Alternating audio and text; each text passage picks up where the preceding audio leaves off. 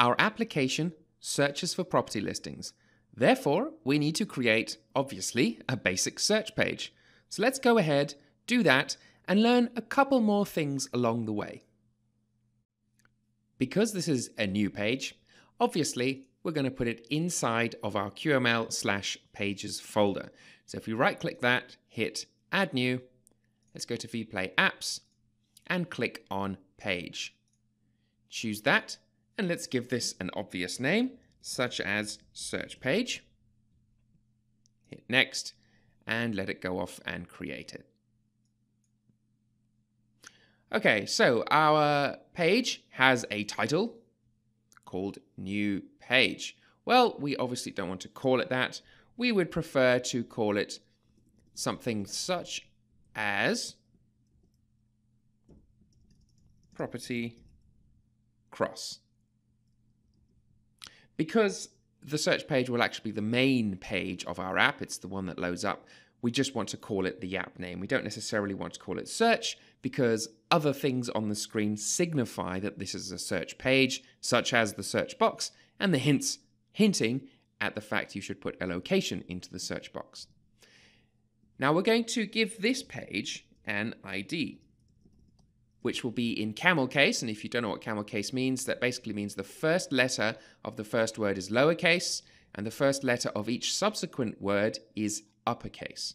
That's camel case. If you're from .NET, uh, that's quite a common thing. Now, what else does this page need? Well, it would be nice if we had some sort of indicator telling us that the page was going off and searching for stuff and waiting for a return of data. So what we're going to add to this page is what's called a bar button. And if we call this, right, bar item, which will be a navigation bar row, and you'll see it's highlighted in the autocomplete. This is going to create a right bar item, or rather, it's going to create a row inside the navigation bar. Remember, the nav bar is at the top of the app. And we're going to put something inside there. And this is kind of, it's a standard thing to do in mobile apps for the most part. And these bar items are of a fixed size on your uh, nav bar. So what are we going to put there?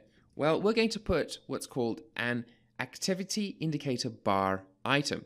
And as the name suggests, this is going to be simply a spinning circle or something similar that indicates something is happening. You can actually see one of these in the status bar of your iOS device and your Android device. That's the bar right at the top that's not part of the app but part of the system. When you make a network call, you're loading a web page, you'll see a little spinning circle in there usually. This isn't that, but it is a similar concept. This runs inside the app, obviously. Okay, now we're going to give this a property called visible. So we can say if it's visible or not. So if it's not visible, obviously we're not doing anything.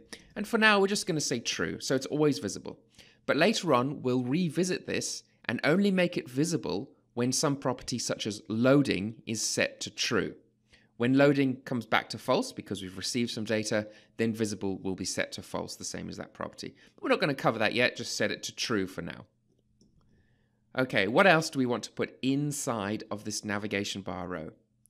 Well, let's have an icon button bar item. And as you imagine, this is simply a button, but it's a special subclass of a button that fits inside of that navigation bar correctly.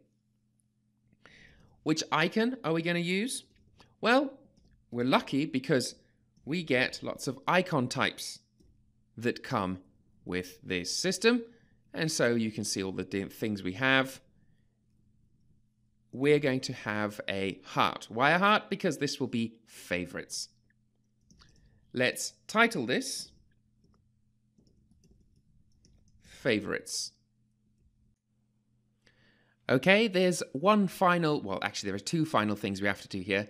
The first is you might wonder what happens if we want to translate our app. Well, if we just have a string that's hard coded, such as favorites or the title for the page property cross, then we're going to have an issue because we won't be able to translate it. So what we're going to do is look up this function in Qt, in the Qt documentation. that tells us about internationalization and localization with Qt Quick. all that means is translation and perhaps changing the order of text according to what locale the user is in. And this tells us to use this function, qsTr, for all literal user interface strings. Now, when you do this, it creates a key that's the name of that string. So let's say you've got this text called back.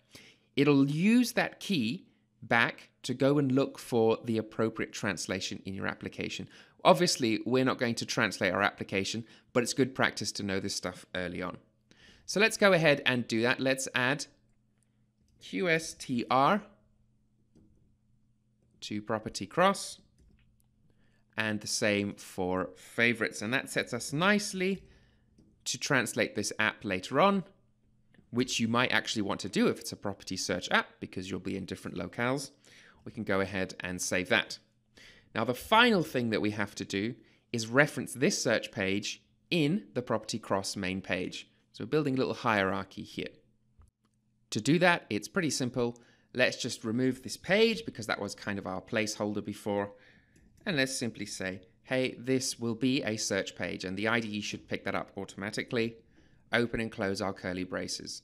You can put them on a separate line if you so wish, but that's not my programming style. I like to have things pretty compact, or as compact as I can make them. So let's go ahead and save that. Let's run this in the live view. And we should be presented with the search page, including all of the additions we've made. Right, so we have our title at the top. At the moment, it doesn't actually fit. And if you expand the window, it does. And that's something we can address later on.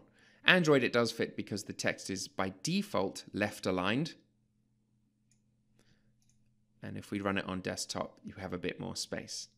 Right, so we've got these two icons, and if we just go back to our search page, first we have the activity indicator bar item, which is this swirly looking item, and then we should have icon type heart here, and I don't know why this is showing me a menu button. Actually, scratch that, I do know why. That's my own uh, fault for not actually looking at my own creation smartly enough. So it's shown now, we now have a heart icon, but watch what happens if we close this up. It closes up that menu.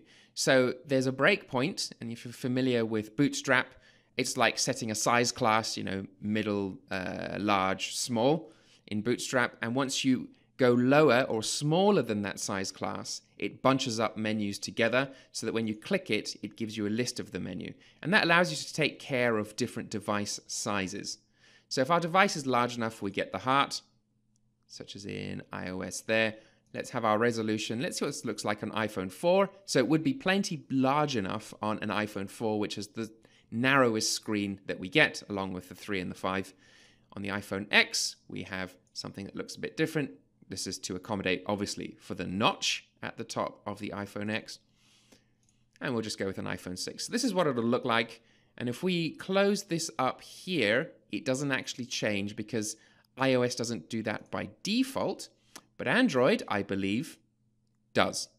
So Android automatically compresses those items. Okay, so that's how we create a new page, how we reference it, also how we create various properties for the page, such as title, how we translate it using qsTr, which we're not going to do, but it sets you up in good stead for the future when you do want to translate your app. We looked at what a right bar uh, item is. We've added a row into that with an activity indicator that we haven't done anything with yet, but we will. And also an icon heart, which allows us to do the favorites. Okay, on to the next section.